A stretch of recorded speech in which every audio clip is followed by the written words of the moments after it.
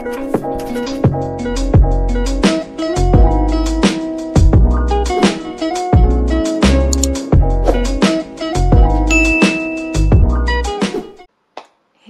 guys and welcome to the channel. My name is Lone and if you're new to the channel girl consider subscribing. Um, go through the page see if it's something you're interested in. I mostly do motherhood stuff now. Um, I love fashion but quite recently I'm not really buying much fashion stuff because I am the size of a house. I am 32 weeks pregnant with twin boys so today I'm going to do an update from 30, 31 to 32 because I feel like I've been doing the updates but they've been in vlog style so it's just been me kind of updating you quite quickly on what has been happening during these times. So now, brace yourself for a little TMI detailed details, right? You'll hear Maya in the background. She's home today. She's got no nursery, so you'll hear her. But yeah, so there's a little bit of a TMI situations here. As I said, I'm 32, which I could not be happier with. Um, if you look back at my previous updates, I feel like I've always thought, oh, these guys are gonna be so early. The girls were so early, but for me to be at 32 weeks, we could throw a party. So i'm quite happy with that and i'm hoping they stay in there because i really want to make my baby shower but it's going to be in june so i am really cutting it close. Anyway let me just jump right into it. I think i should backtrack a little bit because in my previous one i spoke about i think it was the end of 30 weeks when i went to the hospital because of my contractions and stuff. And as you know when you are expecting twins towards the end or singleton babies at any point I think in pregnancy mostly second and third trimester you can get Braxton Hicks so it shouldn't really be all that alarming. Here's here's here's where here's where where I was alarmed right? I could not first of all I felt this horrible nausea like I was just feeling really sick and dizzy and all around unwell so I was very very unwell for a couple before bed. So I was like oh no oh no. So I stood up went to the toilet. I had just made carrot juice. So I think maybe carrot juice triggered something. So I threw up and literally it was just the carrot the carrots. So I had thrown up that night and then mm, that's not so great because this is my second time throwing up during this whole pregnancy. My first time was in first trimester and again I feel like it was triggered by something I had eaten. So red flag I can't look at carrots the same right now. Like carrots upset me right now guys. Um, so yeah carrot juice came right back out. And then a couple of hours later so around 2 a.m I went to the toilet. And when I say I went to the toilet, I mean I went to the toilet and did a number two at 2 a.m. Who even does that? So I was like, red flag, like maybe my body's like detoxing. Hello, Maya. Detoxing and getting ready for labor. So already I was like alarmed. So yeah, and then the Braxton Hicks kicked in and they were vicious. So that's how, that's what led me to thinking that I was in labor. It wasn't just purely Braxton Hicks and that's it. Um, I like the, de the detailed videos because it shows what can happen even though it's not really full labor.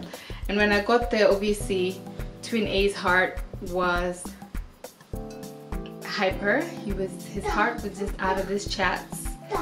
So yeah, his heart was beating pretty quickly, but he's fine um, and it came down towards the end and it was a false alarm so that's the first one and and then okay yeah. So let's now come to end of 31 weeks right? So now we're back on track. I'm back active doing the things i like doing. I'm busy painting the house. I'm nesting full-blown nesting.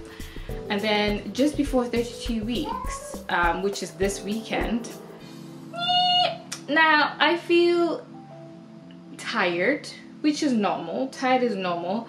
And then I feel my mobility has just decreased. Everything is, seems really heavy. Everything is hard to do. It's really difficult for someone who's active to not be active. Like, or your body's telling you you can't. It's like, I don't know, it's like a runner who can't run. It's it's really frustrating because there's so much I want to do and there's so much I enjoy doing. For example, painting. And I wanted to make build the boys' chest of drawers yesterday and I quickly realized my body said no sis. Like it just said no. Like I picked up one of the parts of it and it was just heavy. It just felt heavy. The whole thing. I looked at the, you know Ikea. Ikea what y'all are doing over at Ikea is it ain't right okay it's not a one-man job so yeah I could not for the life I lifted the one I think it was probably the base of the chest of drawers and I was like nope I'm gonna actually have to wait for my husband to do it on Friday and my impatience you know like um, when you're nesting it's just like you're your patience is very fine. So I have to wait, which is fine. Um, I haven't yet packed my maternity bag, which is a problem because this could happen at any point. Um, when we went for our 32 scan, 32 week growth scan on Monday, the boys seemed perfectly fine. They're growing literally same size, like they're like milligrams apart. But what they did say is, Mama, just eat more your body is like my body is they had found something in my urine that suggests that I need to eat way way more. So basically these boys are sucking me dry. That's my logic. That's what I heard. So I need to just eat more and drink more. And I thought oh I thought I was eating enough. But yeah I've got to snack more apparently. So that's oh another thing that I need to do. You finished? okay baby. Yeah I need to eat more which is a shock to me. But here's hope I need to eat more for the boys. And I am we spoke a bit about labor. I mean yes we spoke about a, the birth plan um, this week which was she just made me sign it but honestly it was neither here nor there. The good good good news is twin A is head down meaning good chances of vaginal birth because I really did not want a c-section um, I've never had one but my vaginal births have been pretty great. So I don't want to I just want a, a vaginal birth as natural as possible. I'm not gonna kill myself if I'm in pain. I do know that there has there's a point where they might because twin B is breech. Turning him is an issue as well. It might be really painful. They don't know how long baby A will come baby B will come after A. So there's so many things that could happen. Like you could have baby B as a c-section if there's complication and you've had baby A vaginally. Again I've spoken about this in my previous video and it's just for me it's like why? Why lord? Um, if you're gonna give me a c-section give me a c-section. Don't don't do both. But yeah. So we spoke about it and she said that if these boys don't come so they would induce me at 37 weeks i thought that's a long time away. But it's really not if you think about it it's five weeks away. Um, yeah only five weeks and i will be seeing these tiny adorable human beings. Intense exciting everything above.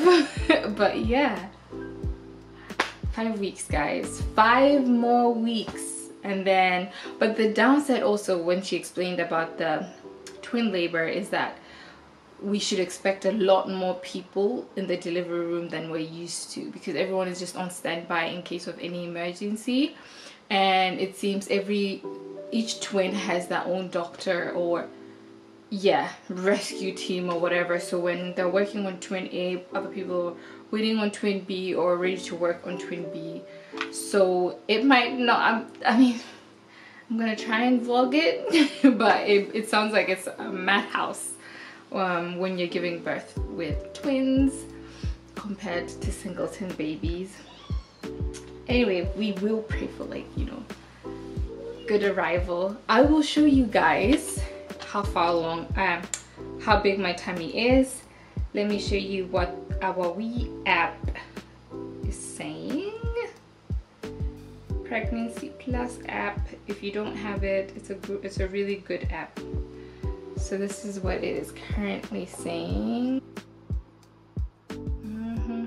see they're saying seven weeks because um, here they say seven weeks because they count they don't have twin settings so this is for if you were having a single baby.